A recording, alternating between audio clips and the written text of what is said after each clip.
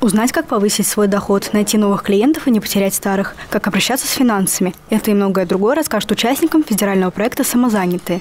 Такой проект реализуется в Сарове впервые, и организаторы надеются, что смогут заинтересовать тех, кто уже имеет небольшой бизнес или ищет новые идеи для его улучшения. Проект включает в себя консультационные услуги для самозанятых по всем вопросам.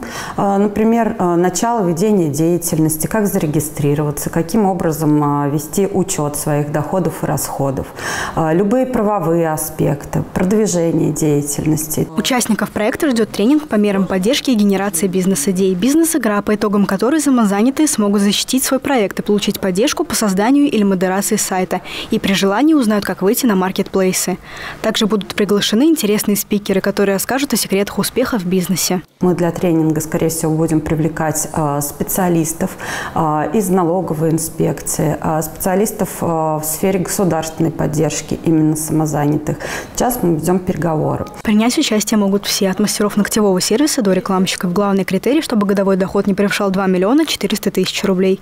Задать все интересующие вопросы и записаться на мероприятие можно по телефонам 9 92 63 и 9 92 64. Екатерина Шмакова, Константин Островский, Евгений Зыбин. Служба новостей Сарова 24.